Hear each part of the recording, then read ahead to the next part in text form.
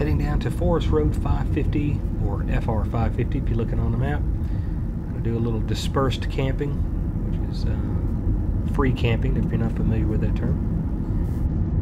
There's some dark clouds ahead. Looks like rain. Alright, getting pretty close. Just to give you an idea what the road condition looks like. It's not uh, it's not a road you would need a high clearance vehicle for, but it is kind of rough if you can see the the washboard uh, ruts there in the road. We'll see how it goes on the, the rest of it. Alright, coming from this end, which seems to be the higher numbered ends, it's just under 40, so it's either 36 or 37 spots. This is uh, site 33. And didn't have any trouble getting up here. Road's uh, fairly uh, in good shape. Fire ring there. And on top uh, is a spot for our tent if you're tent camping. Of course, we're, uh, we're not tent camping. We're going to be vehicle camping today. Just up here to see a few things. Thought this would be a great way to see it in a in a vehicle. Get up here in the mountains. Oh, that's very nice.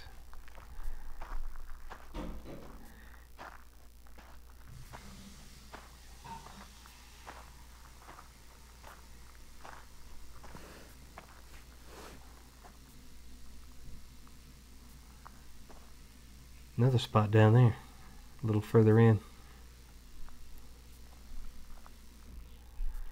Alright. Get set up a little bit better before it starts raining on us again.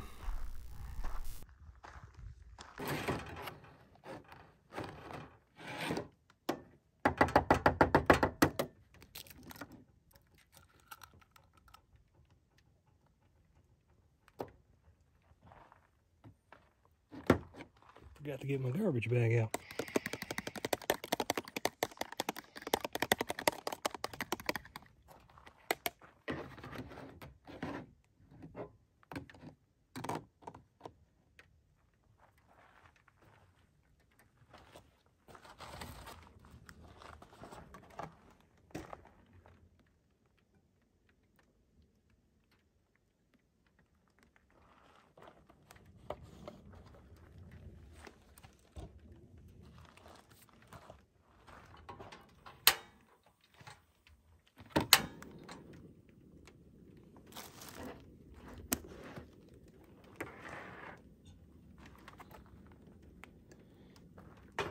See it, but it is burning.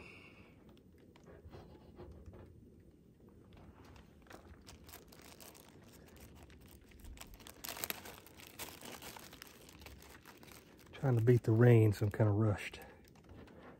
Otherwise, I'd have got this table a little bit more level than it is.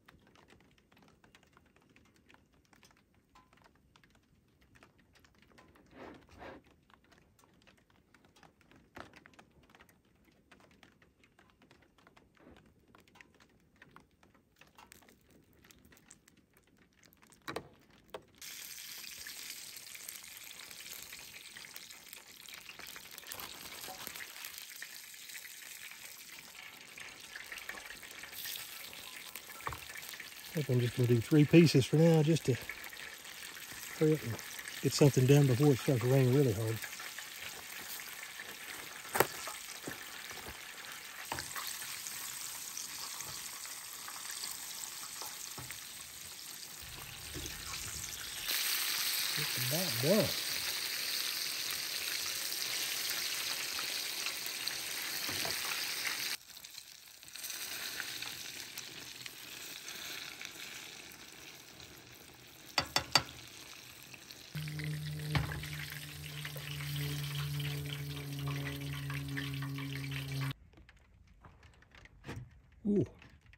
makes it even better.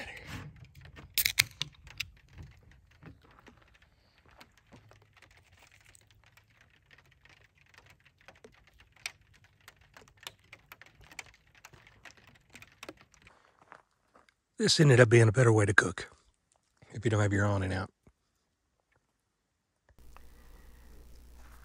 Well, this is a great campsite, but I have to say, it gets pretty crowded. With its close proximity to Denver, it's easy to get to location. I'm here with a two-wheel drive van, as you can see. Um, and it's free. You can't be free. This place in the summertime is packed, especially if you try to come here on a Friday night uh, through Sunday. You, are not going to be able to find a spot easily, and you're likely to encounter a lot of rowdy folks too, from what I understand. Uh, so the best time to come is in the off season. That's what we're doing here today. Just down this road is uh, another campground called Buffalo Creek Campground. Now that one's a paid campground, not to be confused with this one. it doesn't look it on this camera, but it is starting to get dark. I'm going to show you what the uh, road conditions look like while I can. It is pretty much like this the entire way. It's not uh, something a car couldn't handle, but it is rough. There's some rough spots. Show you here.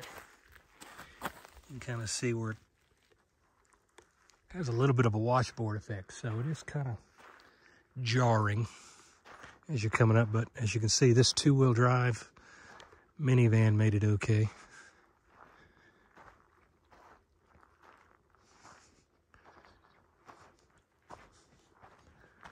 These are great sites. These are totally free. They're called dispersed camping, if you're not familiar with that term. And you can stay here up to 14 days. Just find an empty spot, pull in, and it's yours as long as you want it up to the 14 days. There's no facilities or electricity or anything. What you're seeing there is uh, that light is actually going to a battery pack in my car.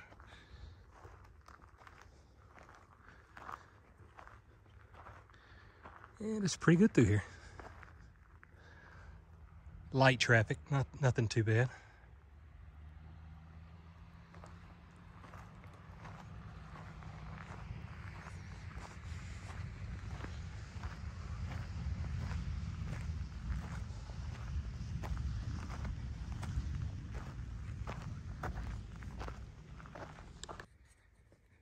Yeah, the cardboard does pretty good for blocking out a light. There is a really bright light bulb going on inside the van. You could barely tell it from here.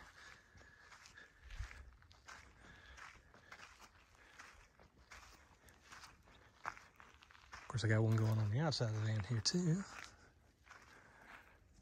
But yeah, does really good.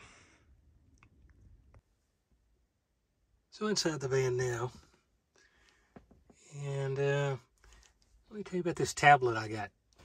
This is a uh, an Amazon Fire tablet, kind of a, a real cheap one. In fact, it's not even the current model. It's the 10 inch from uh, the past model. But they had them on sale for $34. I thought for $34, you can't go wrong there. Well, I got the thing, and it, it is very underpowered for just about everything. But I was able to repurpose it, and it does great on old uh, video games like uh, arcade games. So let me show you one. Here is what you would see if you plugged in an arcade cabinet. This is a program called MAME, Multiple Arcade Machine Emulator. So it, it takes the ROMs from an arcade cabinet and you could run them on a, a computer or a tablet or whatever you got. And if you'll notice it, even down here, it, uh, it's wanting you to put a coin in.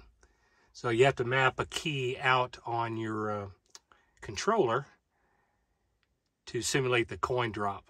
So what I've got is, uh, I just took an old, I don't know if you can see it in the dark. Let me put some light on that. It's an old PlayStation controller and it's Bluetooth capable. So I'll go ahead and uh, let me start the game here. And you'll see the coin credit there. And we'll just get this going here.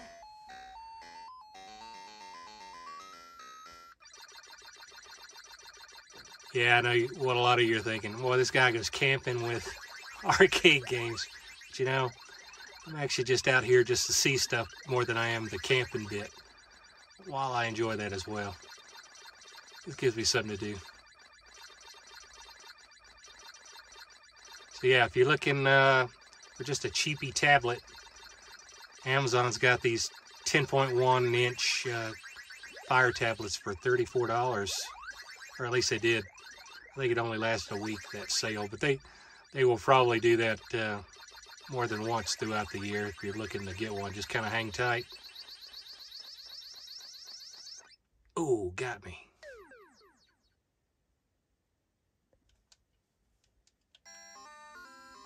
Here's another classic.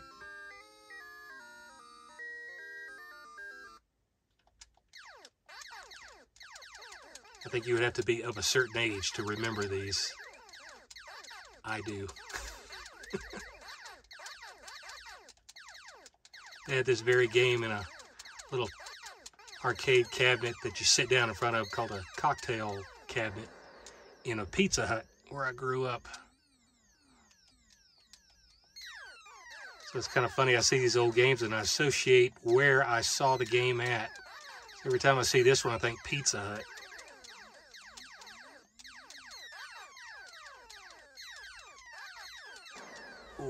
Got me.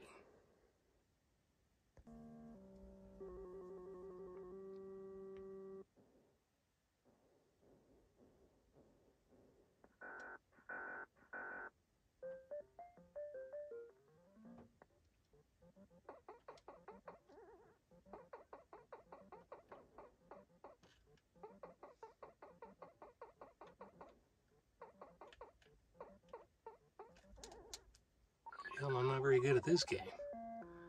Glad I brought him along to brush up on my uh, arcade skills.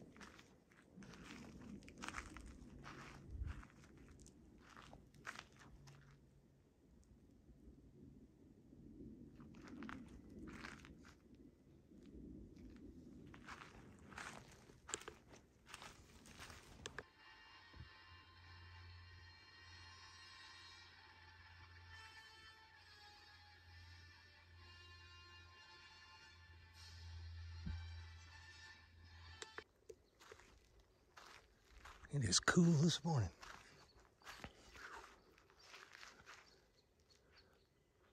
Overall, it was pretty quiet last night. Just a few cars passed by, and that was about it.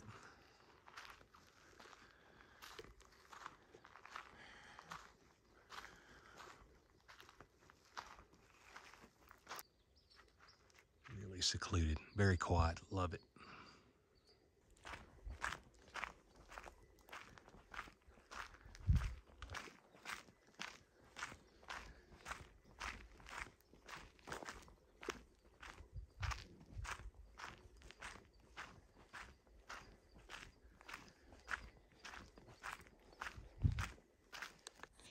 Well, as far as setup goes, just got a unmodified van. This is a 2007 Toyota Sienna. It's been a good one. I bought it new, and uh, it is old, old now, but it is still going. It has uh, over 200,000 miles. Inflatable bed, and for lighting, I have a, uh, a power box that I made, and I use regular household lights uh, with these little adapters so I could just plug them right into an extension cord. So they're great for hanging uh, off of a tree limb or something to light up your camp. And I've got several of them so I can put some on the inside and the outside.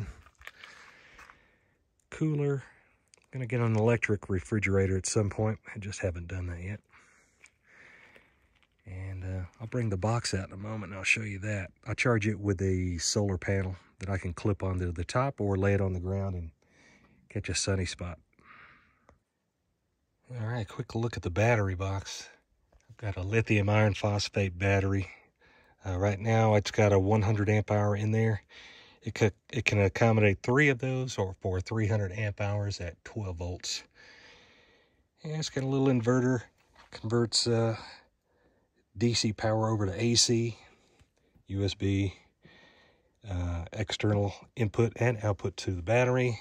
If you need to jump start the car, you can unscrew these terminals. There's the copper terminals on the inside. And that's real handy. Uh, let's see. Yep, you can power any household appliances within the wattage limit of the inverter. Of course, this is better on the end of an extension cord, so it turns into a drop light or personal lamp. And uh, that's where the quick disconnect is for the one of the solar inputs. I've got two. Inside's got a Victron controller, so I can use multiple import import input sources.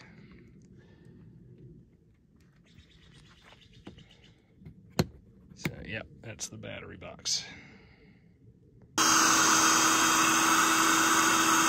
The box is great for deflating and inflating the bed.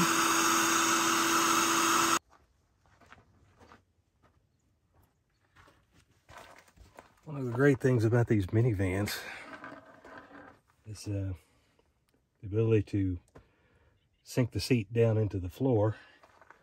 But still have it available if you want to use it. It just folds straight out. And when you've got it sitting upright, you can use the area that it came out of to store your bins and other things. So everything fits in a place. It's pretty good. Breakfast time.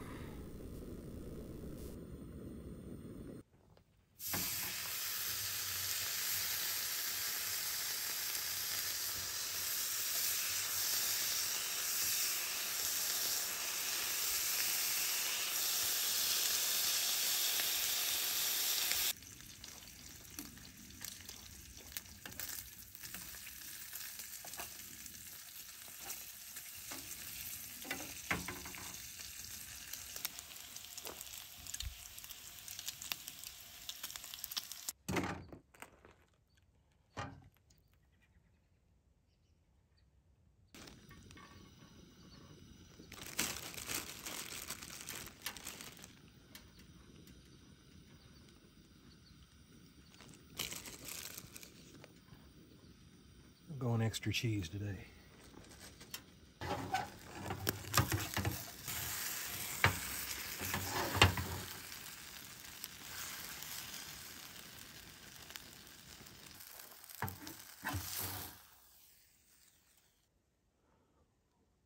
Hmm. You know what goes good with bacon? A Mountain Dew.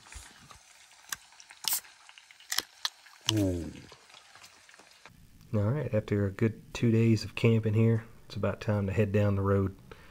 One quick trip around the campsite, just make sure I got everything picked up, and we'll head out. Closer to the road, it's got a fire ring, but there's also a uh, fire pit up here made out of rocks. Guess you have one up there. Oh man, people just dumping their trash everywhere. That's definitely not mine. I only drink the green ones. I'm going to pick it up anyway because that's the thing about these free places. They won't stay free if people don't take care of them. Example being uh, Rampart Range Road down down the road here a little bit. Used to have a bunch of dispersed camping sites that were free. They're still there now, but you got to pay for them.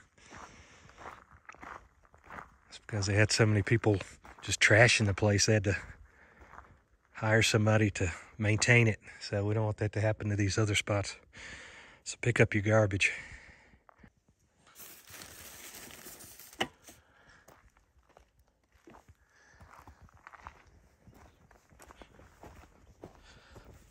Like somebody had their dog out here and lost his ball. That's unfortunate.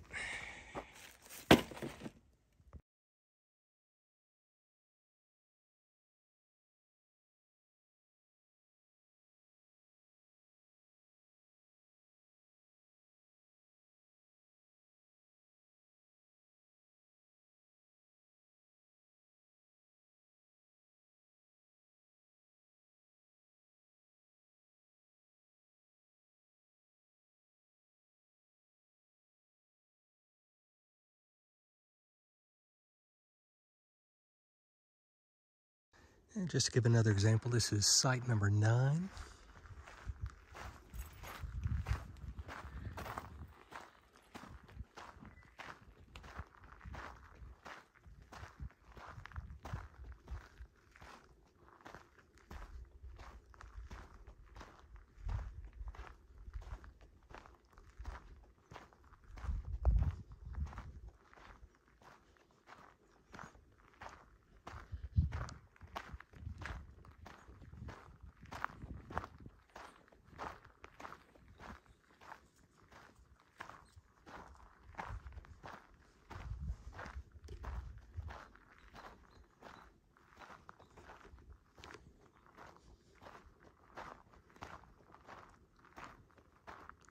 It's got a neat rock formation over here. There's quite a few of these uh, in this area, I noticed.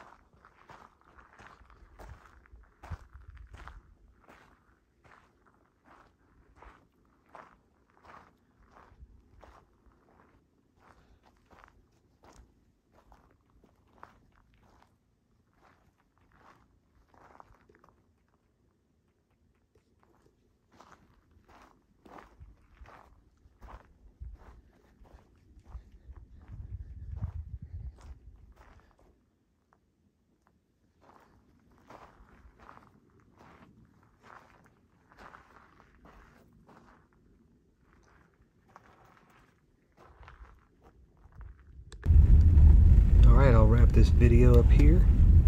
This has been a quick look at Forest Road 550 and the free campsites within. Oh, if I didn't mention it, this is in the state of Colorado, southwest of Denver.